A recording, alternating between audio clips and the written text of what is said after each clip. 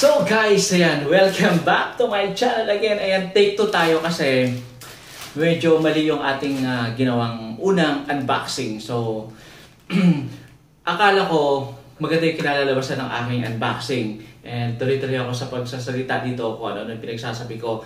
Ang problema, hindi ko alam, lobat po pala yung aking cellphone. So, pero itatry ko pa rin na um, i-unbox ito ng medyo ano, So, but anyway guys, ayan, sa lahat po ng mga hindi pa po nakakapag-subscribe sa ating channel, ayan, mag-subscribe na po kayo and uh, Bobby Arsigaw na TV lang po and huwag po kalimutan pindutin yung bell para ma-notify po kayo every time na meron tayong mga bagong palabas. So guys, ito, take 2 na po ito ha kasi na-unbox, uh, actually nag-unbox ako kanina, ulitin ko nga, um, low-bat pala yung aking cellphone so natanggal ko na yung pinaka-plastic cover niya. So, mm, So ito ay binili natin sa Excite Alganin po. Ito yung ating i-unbox today. And uh, actually, nakabalot yun siya kanina pero ayan. Lahat po ng mga mahihilig magkape, ayan, yung mga mahilig dyan magkape katulad ko, ayan. Uh, ito po yung ating i-unbox ay uh, recommend ko sa inyo na bumili ng ganito, yung mga ano lang, hindi naman masyado tong kamahalan pero ay mga katulad kong uh, mahilig magkape. So, ito ay Frigidaire ano, espresso machine or yung uh, coffee maker. Yan. So, ang ganda, di ba? So, nabili natin actually ito kahapon, pero actually binayaran ko kahapon and then wala silang stocks. Ang naandun lang yung for display nila. So, kapag display kasi usually hindi masyadong ano yun. So, kaya nagantay pa tayo today. So, kinuha ko lang siya kanina and uh, binalik ko siya in, in short kanina and um, naka-plastic cover pa talaga siya. Ito, naka-plastic pa yan siya. So, since nag-unbox na ako ng lowbat yung telepono ko, kaya hindi ko na siya mauulit, di ba? Ang hirap ng ganun. So, ayan, bubuksan ko na guys.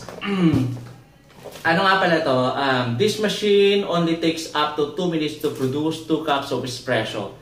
Perfect for or uh, for your small uh, small get together. Ayan.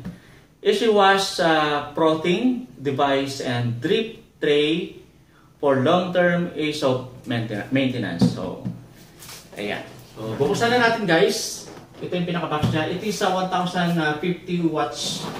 So, ang purpose kung bakit natin siya binili, kasi ang ano talaga natin yan ay dadalhin po natin siya sa Pilipinas or ipa, i, i, ipapakargo natin sa Pilipinas.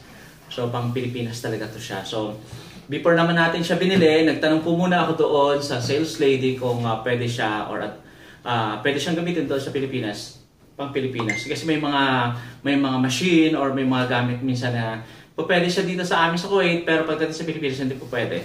So, ayan, buksan na natin guys. Buksan na natin. Take to tayo. Ayan, buksan guys. So, ito sa loob niya, ito nga meron dalawang manual. Isang Arabic at saka isang English. Ayan. Instructional manual, espresso maker. Ito yung isa ay Arabic, ito yung isa ay English. Okay po?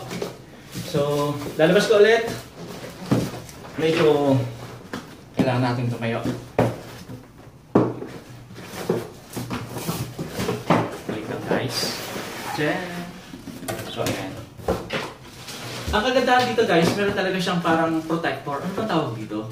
Parang ano ng itlog. Alam mo yun yung tray ng itlog? So, ayan. Tama ba ito? O nakabaliktad? Oh, medyo nakabaliktad. Nakabaliktad pala siya. Wait lang, babasahin ko lang. Ah, uh, Model FD7189, ayan, espresso maker. It is 220 to 240 volts. Tama ba? 50 to 60, ano ba yung HS or HZ?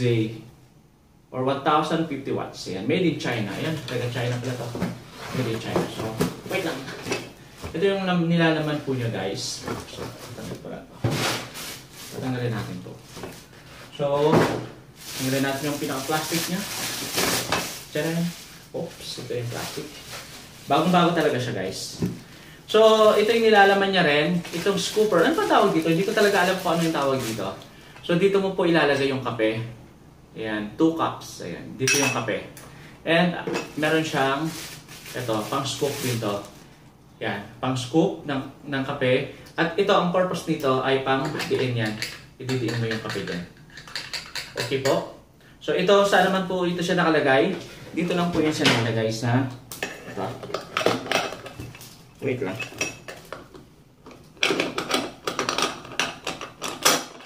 Ay, hindi ko may show. Wait lang. Yan. So, yan. Nakaganyan lang. O, tapos gagalaw lang yan. Tsak. Wala. Ito, ang purpose nito para sa ano to eh, sa gatas. Yan. Pang-initan ng gatas. Tama ba? O pag ano yun, may usok na, parang usok na lalabas yun dyan. Para sa gatas. So, yung kape nandito. Nandito yung kanyang on and off. Ayan. Ito yung stop niya. Okay po.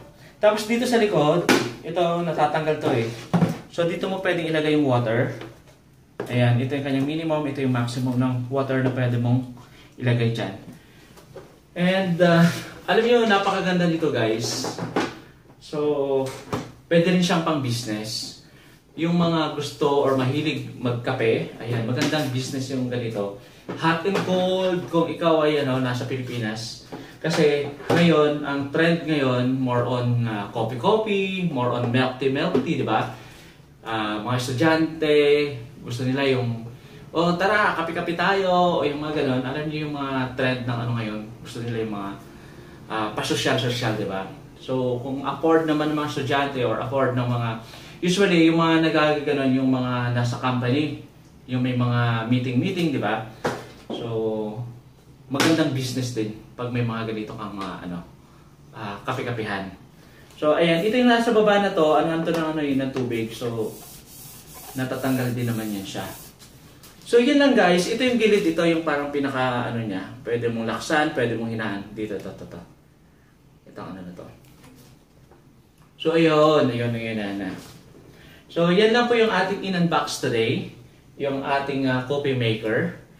Matagal ko na itong gusto eh. Kasi ako talaga sa sa totoong buhay lang, lalo na kapag nasa trabaho, minsan tatlo o apat na beses po ako nagkakape sa isang araw. Hindi ko alam, pag hindi ako nakapagkape, sumasakit yung ulo ko or minsan hindi ako nakakatulog. So ganoon na po ako kaadik sa sa kape. Hindi ko na hindi ko na siya ano, hindi ko na siya mapigilan. Alam mo 'yon, hindi ko alam kung bakit, pero sa isang banda, nakakatulong din naman yun sa akin, syempre sa klase ng trabaho namin, lagi kaming puyat. And 12 oras po kami nagtatrabaho, kaya kape lang talaga. Kaya nga tinatabi, or tinatawag na coffee is life. Coffee is life. So, ayun, hanggang dito na lang guys. And uh, ulitin ko po sa lahat po ng mga hindi pa nakakapag-subscribe sa ating channel.